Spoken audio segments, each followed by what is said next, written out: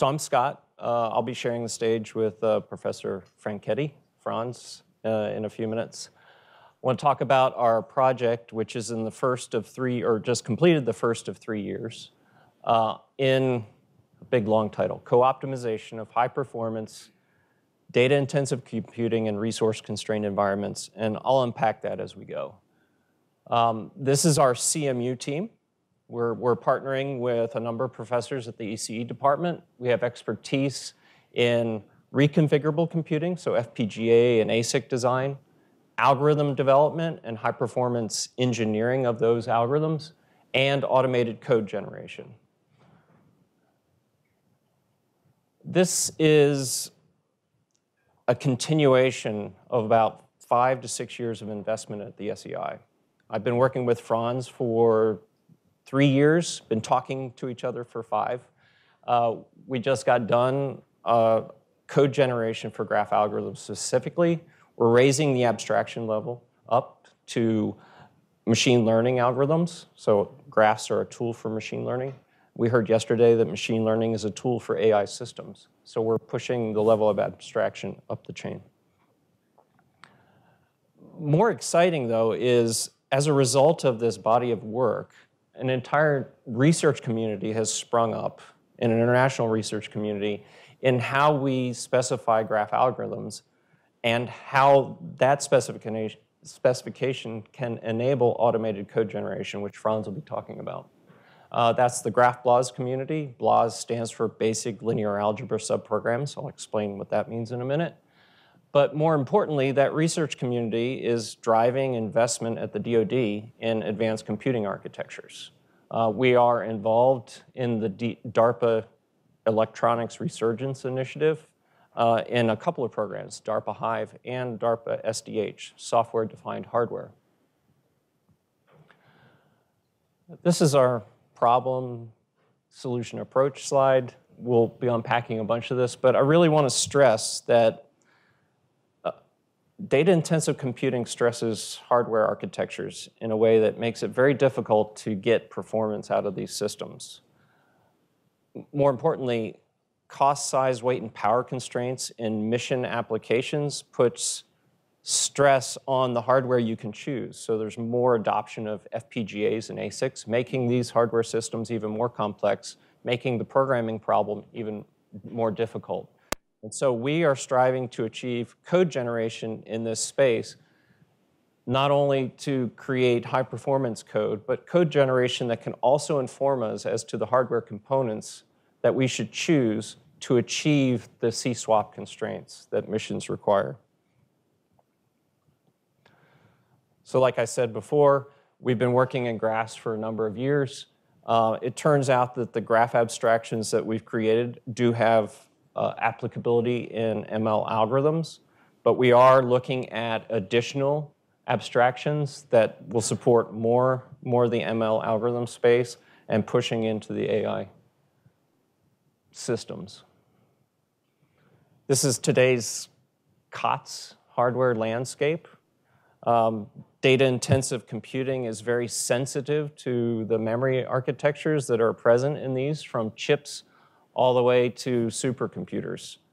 Um, you can spend an inordinate amount of time trying to tune your code for one, one chip, and then when in the next acquisition cycle you get a new computer and your code doesn't run very well. This is even more pronounced in what's coming. What we're seeing at DARPA is a new zoo of hardware architectures to address data-intensive computing. Uh, each one of these will require a tremendous number of effort, a tremendous amount of effort to tune those, those applications. And so we want to get in front of that. And how we're going to do that is through a separation of concerns. What we want to do is separate the complexity of developing algorithms, machine learning, AI, graphs, from the complexity of tuning them for specific hardware. In software engineering, that's generally done with an application programming interface. Uh, the goal is to define a set of computational operations, some, some few data structures, and then allow the algorithm writers to write against that interface. The goal is then with cooperation or the help of hardware vendors and, and uh, developers, have the developers or the hardware folks implement those few operations um, very, very high performance ways so that with one piece of code, we can run everywhere fast. But when you're talking about graphs and data intensive computing, it's, um, it can be a little confusing about what the proper API is. Uh, this, is this is a slide from my collaborator at Intel. He pulled a down a bunch of graph, graph APIs. And it's, it, there, there is no cons broad consensus as to what the right API is. But in the last couple of years, based on some of our prior work, there is a growing community adopting graphs in the language of linear algebra. So we treat graphs as sparse matrices. We do operations on sparse matrices to do computation on graphs.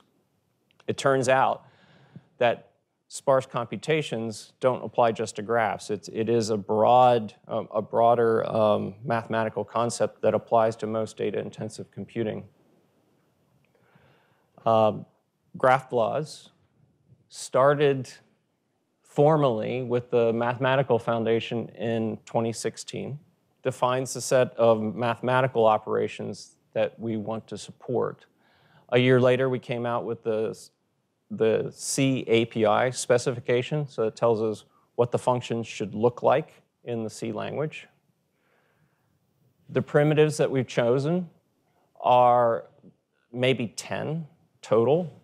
Uh, the large ones, the, the biggest, most important ones are sparse matrix, matrix multiply, sparse matrix times vector, element-wise operations between sparse matrices and sparse vectors, and the ability to extract subsets of sparse uh, data structures. We do have reductions and transposes and a few other things that help with, with the full uh, algorithm pipeline. I showed a version of this slide last year. All the updates are in blue. So last month at IEEE HPEC, we released version 1.3, so the fourth version of the GraphBLAS API. Uh, the exciting thing there is that we are starting to build in operations that allow for dynamic data. We can add and remove components from, uh, from these graphs so they can grow and shrink as the data changes. Um, in the back end, we've gone into, we, the community, have gone into focusing on performance. So we had a few reference implementations a couple years ago. Uh, SuiteSparse was the first. It is now uh, multi-threaded using OpenMP in the back end. So now it can do uh, multi-core shared memory systems and get much better performance. Uh, we're working with Lawrence Livermore, we, the SEI specifically. They want to put a version of GraphBLAS on top of their distributed system so that they can do GraphBLAS on their supercomputers. Um, a performance engineering group at the University of Texas, Galois, is actually building a GraphBLAS interface on top of their technology. So that's the back end. The front end, above the API, there is focus on usability. So in the community, we have members working on uh, Python wrappers so that we can engage the, the large body of data scientists and ML researchers. Uh, there's even a Postgres wrapper, so pushing up into the higher level languages. And, and the one that I'm really excited about is the community effort to, do, to collect the best algorithms implemented in GraphBLAS. So without concern for the implementation in the hardware, what's the best way to specify algorithms that are important? Um, we had started with the, the C++ algorithms repository here at SEI. A lot of those algorithms are now in the LAGraph with more to come. Uh, and most recently, people have started um, providing algorithms in the ML space, specifically dense neural networks. But with all this activity, optimizing the backend is still hard. So for all those efforts in increasing performance in the back end, you're going to get a static runtime library targeting a specific hardware architecture. So one would be shared memory, multi-core. Another one would be distributed. It won't get you a broad capability. And with all the new architectures coming up, um, it, it's still difficult, time-consuming, and costly. And how we're dealing with that, I'm going to invite Franz up to talk about. Thank you, Scott. And it's my pleasure to be back. It's always a pleasure to be here uh, presenting work together with Scott. It's been going on for three years now, funded, and five years or so unfunded uh, before. And what you have seen uh, on one of the early slides was what kind of research group has grown out of that collaboration. And Scott's really a family member over at campus nowadays. Uh, and it's really great to work together, but moreover, the way he kind of like contributes really is the enabling step for us to be able to do what we're doing. And let me explain. So Spiral is a program or project that's been going on at uh, CMU for about 20 years, originally started by Lou Auslander, and then uh, so just, uh, Jose Moura, who is currently uh, president of IEEE, was the first long-term PI, then Markus Püschel, who went back to ETH Zurich, was the next PI, and I'm kind of like the third PI, kind of like the grand, uh, grandchild PI on the project. And the idea of the project since the beginning was that typically when you want to get high performance, you figure out the right laser pointer first, the algorithms, and then you have some people implement stuff, and then you get something high performance, like a high performance GPTL library. What we're doing is almost the same thing. We have the books, but then we have an automatic system that basically does that. And then the only question is, well, how does this compare? And you're gonna get the same performance. Otherwise, uh, it's no good to have it automated. And the thing here is now, we started uh, 20 years ago to kind of like uh, compete with FFTW and FFTs because signal processing was the thing back then. Nowadays, we're doing it across a wide range of things, and one of the things is Jeremy uh, Kepner's book from uh, Lincoln Lab up here, the uh, graph algorithms in the language of linear algebra. And that is the thing. We are formalizing these algorithms, putting all these representations into an automatic system that then can do as well as human hand tuners can do. And the important step here is to be able to take something that's written as math in a book and put it into an automatic system. It turns out Spiral over the years has grown into really an AI system to optimize AI systems. It's kind of like AI for AI in a way, if you wish. And so now what we're doing in the SEI project is kind of like taking that idea and really pushing it all the way through. And so the key component, and that's where really Scott comes in and talks to us at the campus all the time, is what's the math and what's the underlying algorithms of all these graph algorithms and AI uh, algorithms. And so thing is, for example, you want to do something like uh, triangle counting. You get some equation that has some trace of a matrix, some norm, one norm, and blah, blah, blah, and some scalar product and some semi-ring. And if you read Jeremy Kepner's book, you know exactly what it means. And I had three students try to read it, and they all went belly up. Then I turned to Scott, and he explained it to us. And since then, we can actually do the work. And so, uh, and I'm not joking, I kind of like got a preprint of Jeremy early on, and I tried student one, two, three. And so, uh, basically, you have to have the right domain expert who understands what's written, and you can talk to. And Scott's background in automatic, uh, in performance engineering and the algorithms, and knowing the missions and all of that was kind of like the absolute key. And so we could actually go in and grab the content of that book and put it in, put it in the system. And what does it mean to put it into the system? It means we have complicated high-level abstractions, uh, multiple layers, a lot of representations on a math level, on a program level, rule-based compiler. Uh, it's a lot of formal systems, it's a lot of math, it's a computer algebra system that's 20 years in the works underneath everything. And after running for a while, it does automatically what humans do by hand. And it really is kind of like putting constraint solving, high-level information representation, uh, inf um, search space exploration, all that new stuff in there to automate what the human would be doing. And so we have, again, high-level abstractions, code-level abstractions, some math, some rule-based compilation, all interacting, and it's been a string of like three, four DARPA programs over the years that we're leveraging here. And what's really happening is we have a red space, a blue space, and a gray space, which means there's something that represents algorithms, something that represents hardware, and something that represents program transformations. And then the computer plays Lego with itself and figures out how to build from all this information the best uh, high-performance implementation it can. And there's uh, the formal approach that we have to put in, and you can get some design space exploration, and you can ask inverse questions. That goes back to Tony Taylor asking us, so which one of these chips is the best one? I don't want to have to fund a program to uh, run every one of those. And so that's basically where it all comes from. But what really happens is you have uh, this library here, and it looks like a program to the user. The user thinks they're writing against an API like the GraphBLAS, but behind the scenes, an automatic AI system starts working and figuring out how to really run it on the machine.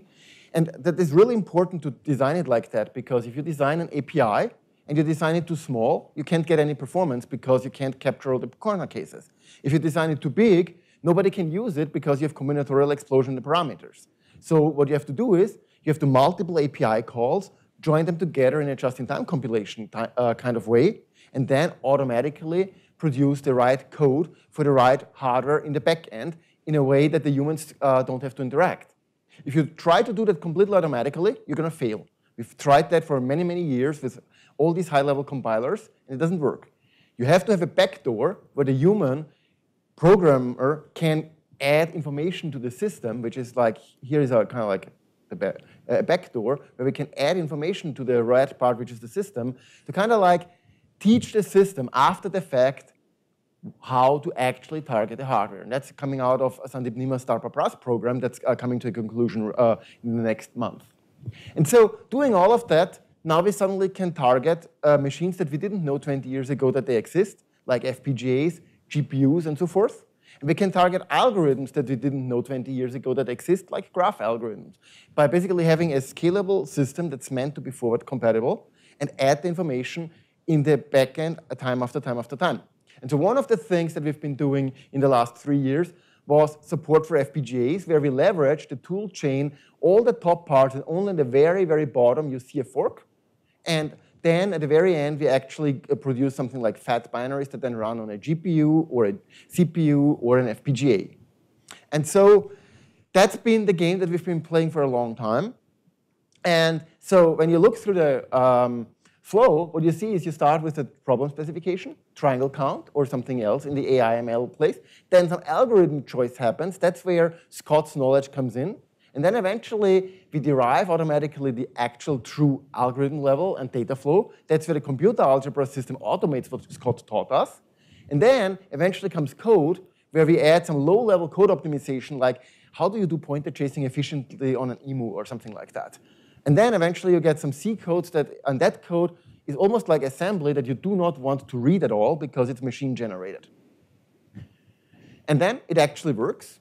And that's just kind of like to scare you. It's kind of like some inter intermediate representation, some actual C code. And what turned out to happen is that we were able to automatically generate the same code that the year before our students wrote by hand to win the HPEC uh, graph challenge uh, some price there. And so we kind of like up there automatically uh, with what the best students could do by hand before.